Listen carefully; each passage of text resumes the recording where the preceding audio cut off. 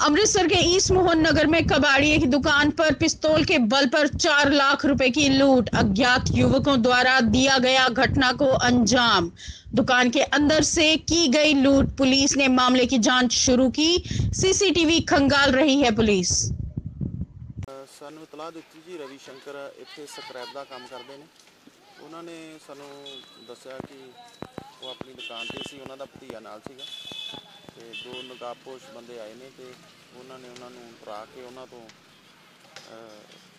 ਪੈਸੇ ਸੀਗੇ ਜੀ ਕੁਝ ਤੇ ਕੁਝ ਸੋਨਾ ਤੇ ਇੱਕ ਉਹਨਾਂ ਦੀ ਐਕਟਿਵਾ ਲੈ ਗਏ ਨੇ। ਤੇ ਰਵੀ ਸ਼ੰਕਰ ਜੀ ਦੇ ਬਿਆਨ ਤੇ ਅਸੀਂ ਮੁਕੱਦਮਾ ਦਰਜ ਕਰਕੇ ਤੇ ਅਗਲੀ ਕਾਰਵਾਈ ਸ਼ੁਰੂ ਕਰਤੀ ਹੈ। ਉਹਨਾਂ ਦਾ ਕਹਿਣਾ ਵਾ ਜੀ ਕਿ ਉਹਨੇ ਪਿਸਟਲ ਵੀ ਦਿਖਾਇਆ ਉਹਨਾਂ ਨੂੰ। ਹਾਂਜੀ ਉਹਨਾਂ ਦੇ ਮੁਤਾਬਕ ਆਇਆ ਜੀ। ਆ ਰਿਹਾ ਸਾਡੀ ਤਫਤੀਸ਼ ਵੀ ਆ ਰਿਹਾ ਅਸੀਂ ਇਹ ਦੇਖ ਰਹੇ ਹਾਂ ਜੀ। ਸਰ ਰਕਮ ਕਿੰਨੀ ਕੁ ਦੱਸੀ?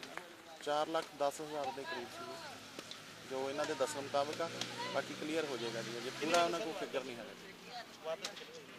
ਇਹ ਕਰੀਬ 3 ਵਜੇ ਪੌਣੇ 3 ਤੋਂ 3 ਵਜੇ ਦੇ ਦਰਮਿਆਨ ਹੋਈ ਹੈ। ਤੇ ਸਾਨੂੰ ਜਦੋਂ ਤਲਾਹ ਮਿਲੀ ਉਸੇ ਵੇਲੇ ਮੌਕੇ ਤੇ ਪਹੁੰਚ ਕੇ ਅਸੀਂ ਕਾਰਵਾਈ ਕਰ ਲਈ ਥੈਂਕ ਯੂ ਹਾਂਜੀ ਕੀ ਨਾਮ ਹੈ ਜੀ ਆਪਣਾ? ਮੇਰਾ ਨਾਮ ਰਵੀ ਸ਼ੰਕਰ। ਕਿਹੜਾ ਇਲਾਕਾ ਜੀ? ਈਸਟ ਮੋਹਨ ਨਗਰ। ਹਾਂਜੀ ਕੀ ਗੱਲ ਹੋਈ ਹੈ ਜੀ ਅੱਜ? ਦੋ ਮੁੰਡੇ ਆਏ ਸੀ ਅੰਦਰ ਪਿਸਤੌਲ ਲੈ ਕੇ। ਸਾਨੂੰ ਲੁੱਟ ਲੱਟ ਕੇ ਲੈ ਗਏ ਜੋ ਪੈਸੇ ਪੂਏ ਹੈਗੇ ਸੀ। ਕਿੰਨੇ ਪੈਸੇ ਸੀ ਜੀ? 4 ਲੱਖ 10 ਹਜ਼ਾਰ ਅੰਦਾਜ਼ਾ ਹੈਗਾ ਸੀ ਹੋਰ ਕੀ ਕੀ ਖੜਿਆ? ਹੋਰ ਇੱਕ ਸਾਡਾ ਸਕੂਟਰ ਲੈ ਗਏ ਐਕਟਿਵਾ। ਹਾਂਜੀ। ਤੇ ਮੁੰਡੇ ਦੀ ਘੜੀ ਤੇ ਮੁੰਦਰੀ ਇਹ ਕੜਾ ਤੇ ਮੁੰਦਰੀ। ਹਾਂਜੀ। ਤੇ ਸਾਡੇ ਤਿੰਨ ਮੋਬਾਈਲ ਲੈ ਗਏ।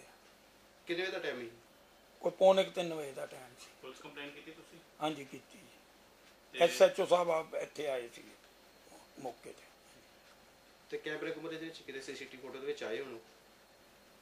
ਸਾਡਾ ਇੱਥੇ ਖਰਾਬ ਹੋਇਆ ਦਾ ਸੀ। ਸਾਨੂੰ ਸਾਹਿਬ ਨੇ ਮੋਬਾਈਲ ਤੋਂ ਫੋਟੋ ਦਿਖਾਈ ਹੈ ਅਸੀਂ ਕਿਆ ਹੋਇਆ ਹੋਈ ਸੀ ਮੁੰਡੇ ਕਿੰਨੇ ਜਣੇ ਸੀ? ਦੋ ਜਣੇ? ਉਹਨੇ ਤਿੰਨ ਵਜੇ